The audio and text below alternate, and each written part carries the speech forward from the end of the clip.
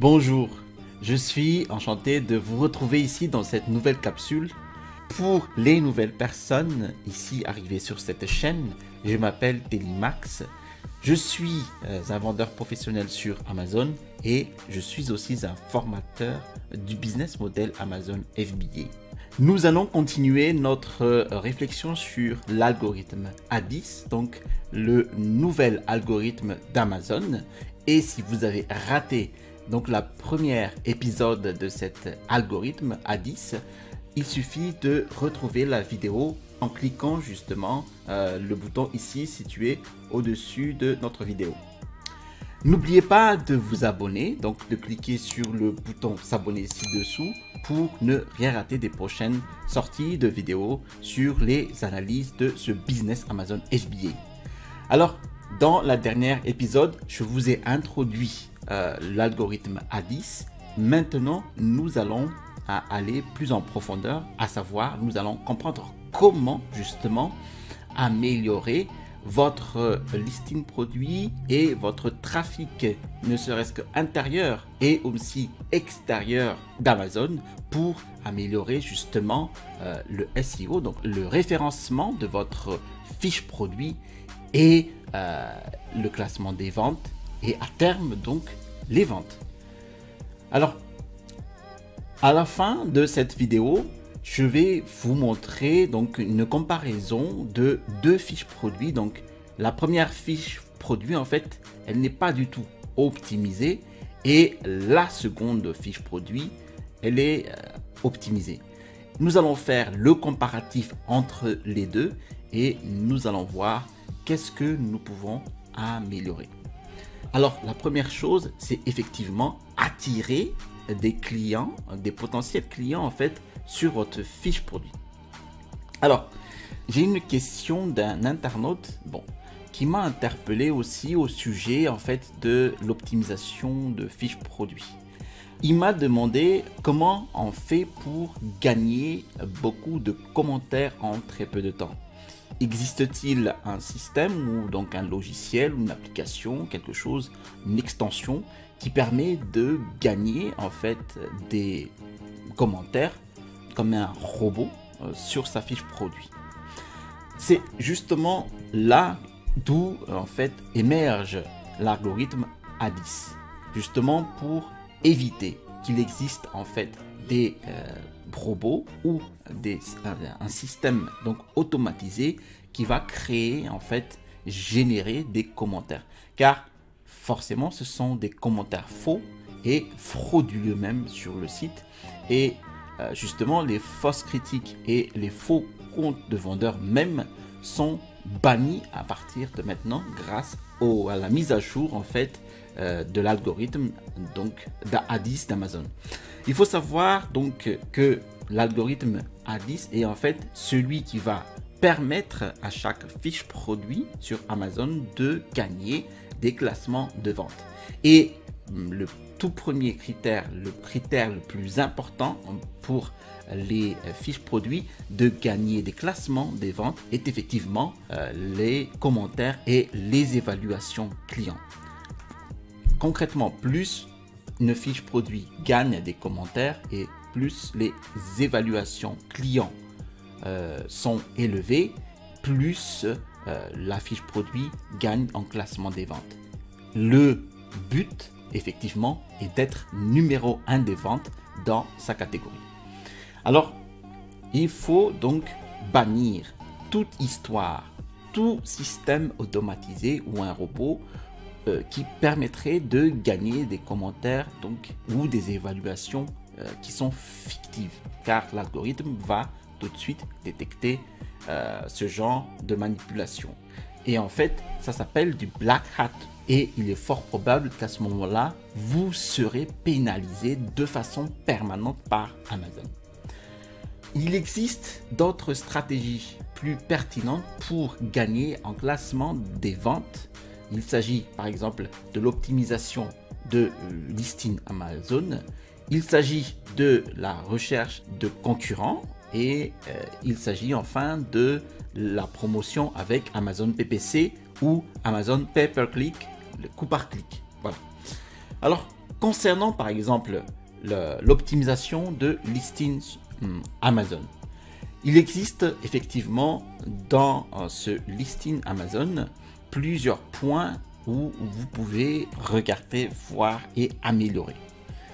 Par exemple, le premier point est la description de produit.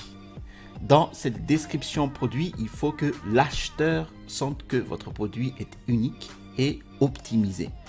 Dans ce sens que si il regarde la description sous forme de liste à puces, euh, donc c'est la description juste à côté de l'image, et euh, si il reconnaît les informations qu'il souhaite avoir par rapport à votre produit, par exemple si vous vendez un tapis de yoga et que dans la description il reconnaît les informations pertinentes telles que le tapis de yoga antidérapante ou tapis de yoga euh, épais, alors bon, il est sensible avec ces mots-clés là et il sera plus amené à acheter votre produit.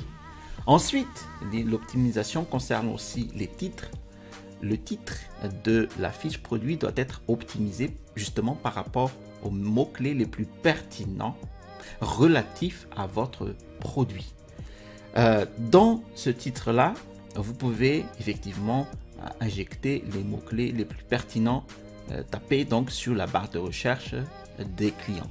Par exemple, vous pouvez euh, regarder dans la barre de recherche donc les mots-clés les plus pertinents, tapis de yoga, antidérapant, épais, euh, écologique, etc.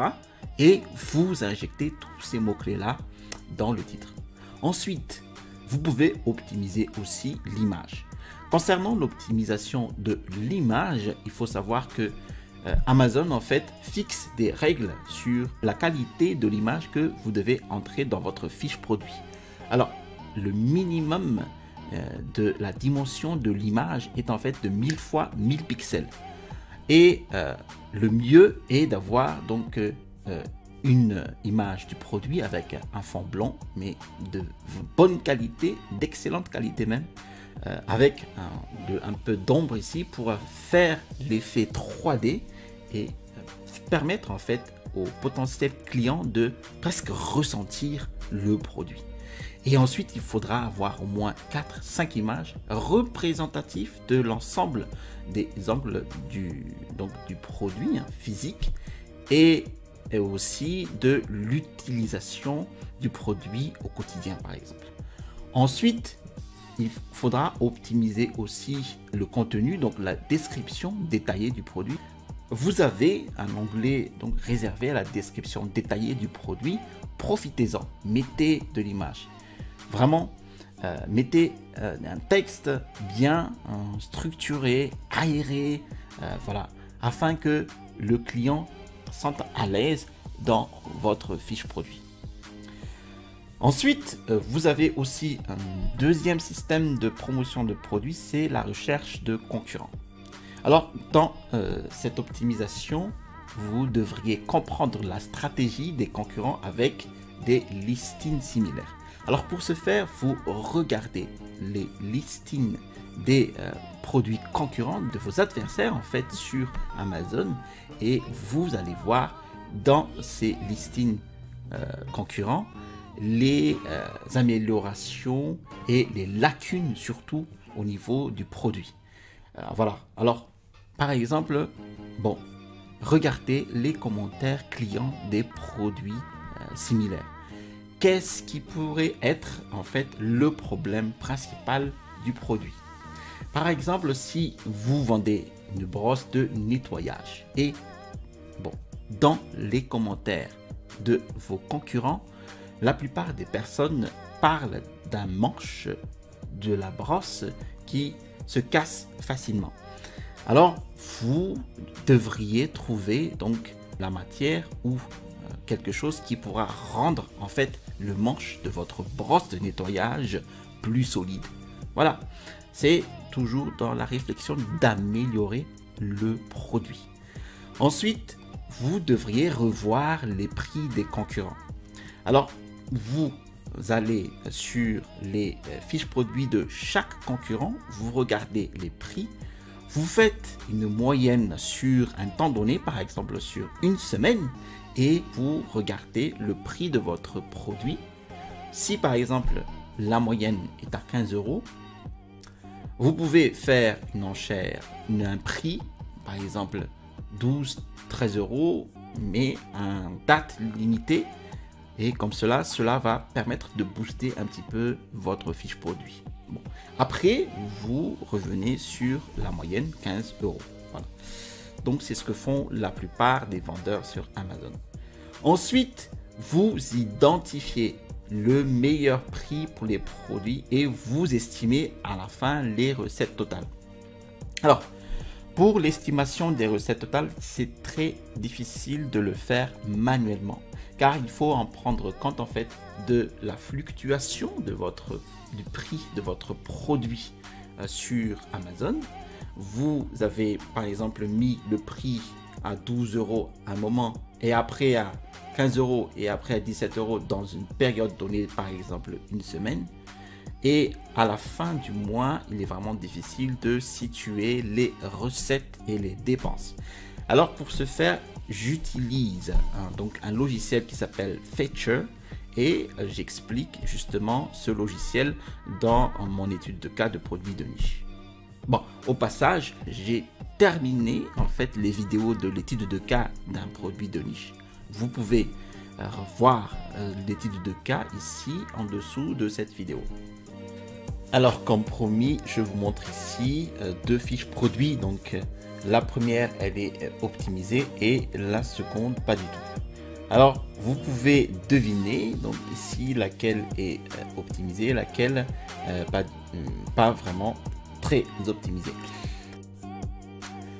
Merci d'avoir suivi dans cette vidéo jusqu'à son terme. Je vais détailler encore plus euh, l'optimisation de la fiche produit dans une autre capsule. Mais d'ici là, n'hésitez pas à cliquer sur le bouton s'abonner pour ne pas rater justement cette sortie de vidéo. Allez, j'ai aussi mis en description un lien sur mon programme étude de cas d'un produit de niche. Profitez-en car pour l'instant, il est vraiment un prix sacrifié. Ce prix-là va augmenter l'année prochaine. Allez, à bientôt et restez toujours curieux.